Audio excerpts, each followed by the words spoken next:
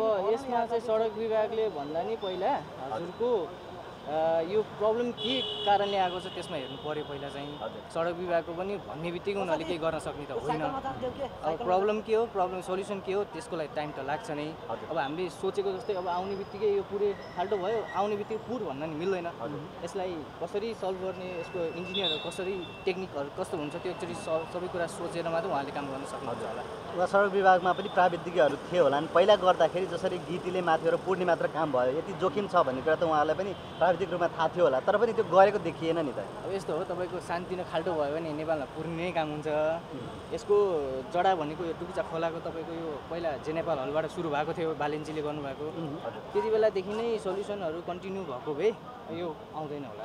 यसको सोल्युसन चाहिँ टुक्चा खोला उत्खनन गर्नै पर्छ र यसलाई खोलाकै रूपमा बग्न दिनुपर्छ भन्ने मान्यता हो त्यो त। गर्नै पर्छ। तपाईँको प्रकृतिको बाटो प्रकृतिलाई दिनै पर्यो। अब प्रकृतिको अगेन्स्टमा गरेर कसैले केही गर्न सक्दैन होइन?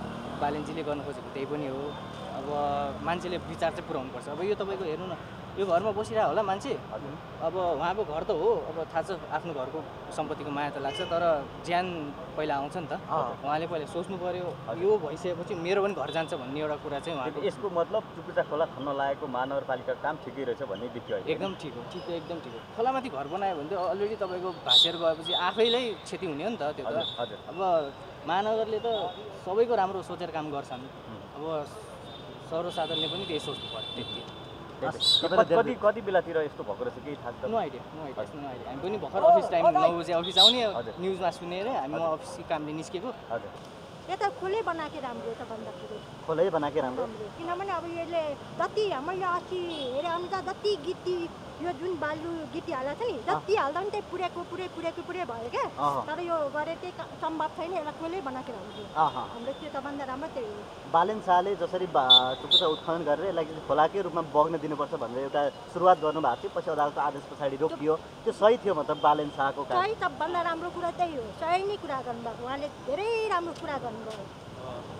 कुरा सबभन्दा राम्रो बालेन्चा अगाडि बढेको धेरै राम्रो हो। किनभने देश पनि प्रगति भयो जहाँ जहाँ खोला यो यस्तो गर्यो भने चाहिँ मान्छेलाई डुब्ने ओर्ने बगाउने केही हुँदैन। एकदम राम्रो गर्नु अनि यो त अब एउटा महानगरपालिकाले मात्र त्यो उसको मात्र प्रयत्नले त होला जस्तो छैन नि त। सङ्घीय सरकारै अग्रसर हुनुपर्छ। यहाँ माथि धेरै घरहरू बनेका छन्। होइन। यो जनता मूर्ख भएको। हामी धेरै मूर्ख छौँ।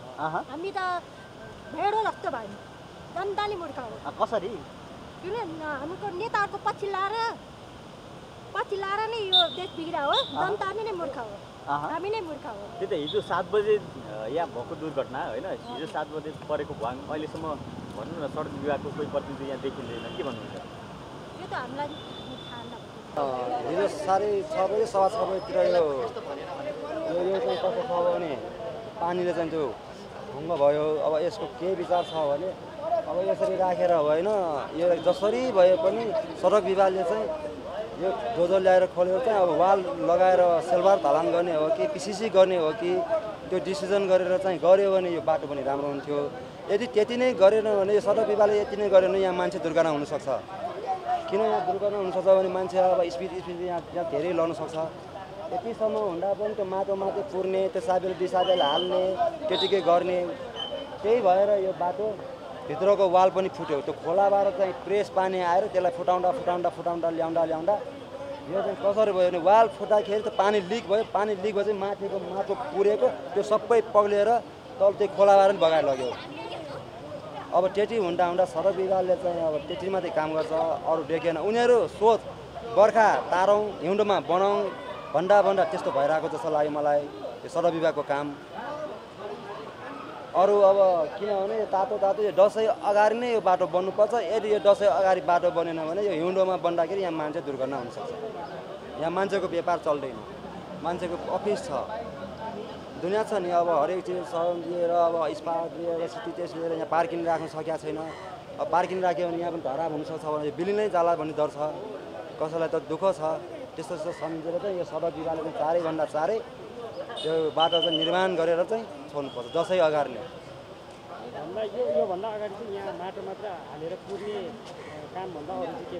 त्यही माटो हाल्ने हो पुर्ने हो अरू के भएन सानो एउटा मङ्गाल बनायो त पानी त्यही खोलाको पानी आयो त्यही खोलामै पठाउने भनेर सानो मङ्गाल बनायो। त्यसले पनि काम दिँदैन त्यही शङ्का लागिरहेको छ मलाई। अब यसलाई कसरी गर्नुपर्छ? तल पिसिसी सेलबार ढलान गरेर माटीबाट ठुल्ठुलो जाली राखेर त्यो जाली कति पाँच बाई पाँचको जाली राखेर ढुङ्गा राखेर उठाएर माथि फेरि पाटेसन जस्तै गरेर त्यो डन्डी रद राखेर चाहिँ अनि माथि पिच गर्नुपर्छ यसमा। अनि मात्र यो पक्का जस्तो हुन्छ यो बाटो। नमस्कार। हिजो बेलुका। हिजो बेलुका सात बजेको बिचमा यो यस्तो भएको छ होइन? हजुर। अब यो घर यहाँ छ अब यो काठको पऱ्यो अलिकति हानि नक्सन भनेको अब यो गाडी आ गाडी गाडी आएको भए अलि ऊ नक्सल पनि हुन्थ्यो होला होइन? अरू भनेको यस्तै हो। अब यो घर छ यताउति अझै जानकारी मिल्दैछ होइन? अरू भनेको यस्तै हो। अरू बाइकहरू गाडीहरू उ गरे अलि हिजो झन् एकजना मान्छेहरू एकजना इन्सपेक्टर साहबै तल झर्नु भयो अरे नि त। अँ, अहिले तल। तपाईँले देख्नुभएको थियो? हजुर अँ। दे ऊ देखेको थियो हिजो सात बजे बिचमा यो झरेको होइन? हिजो खासमा के भएको तपाईँले देख्नुभएको अब यो एक्कासी झऱ्यो होइन? गाडीहरू उता आइराखेको थियो यहाँ जाम पनि भइरहेको छ होइन? अनिखेर अब यस्तै उ गर्दाखेरि अनिखेर यो झरेपछि अनिखेर भोलि ऊ गाडी आयो भए अझै त्यो एकजना मान्छे मात्रै झरे हो कि? यहाँ हो। त्यो चाहिँ मैले अब गर्दाखेरि म नि हतार हतारमा थिएँ अब यहाँ आइरहनु पर्छ मेरो यताउति यहाँ अफिस छ होइन? त्यहाँ त्यही हिसाबले गर्न त्यति पर्छ। ओ जसरी एउटा बिच बाटोमा यस्तो भङ परेको छ। हजुर। अनि एउटा सडक विभाग अ, ले खासमा यो भङ टाल्नुपर्ने हो र यो कार्य चाहिँ सडक विभाग अन्तर्गत पर्छ। तर अहिलेसम्म देखिएन नि के भन्नुहुन्छ तपाईँ? अब टाल्नै पर्छ होइन अब यस्तैले उ गऱ्यो भने अब धेरै वर्ष भयो यो उ नगरे हो होइन। अब यसलाई पछाडि हुन्छ अब टाल्नु पर्छ कि के गर्नुपर्छ भने अब त्यो बालेनको अहिले बालिनै हुनुहुन्छ होइन।